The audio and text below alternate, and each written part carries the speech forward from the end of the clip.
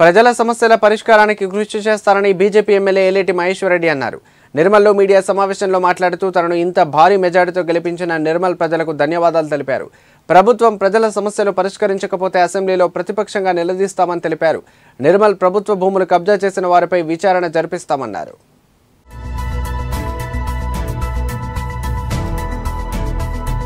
గతంలో ఉమ్మడి రాష్ట్రంలో ఉన్నప్పుడు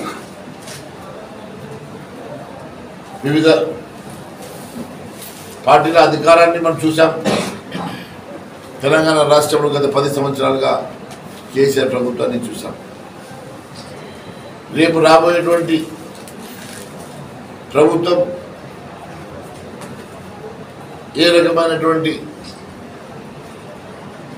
హామీలు ఇచ్చిందో ఆమె యోగ్యం కానిటువంటి హామీలు కావచ్చు.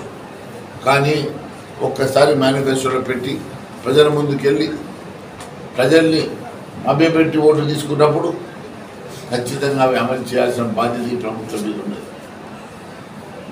అదే మాదిరిగా కేంద్ర ప్రభుత్వం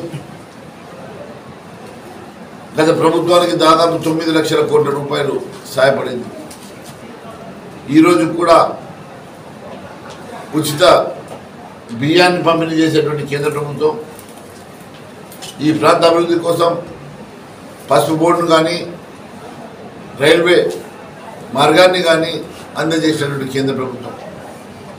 నిర్మల్ నియోజకవర్గంలో ఒక మెడికల్ కళాశాలను కూడా అందజేసినటువంటి కేంద్ర ప్రభుత్వం.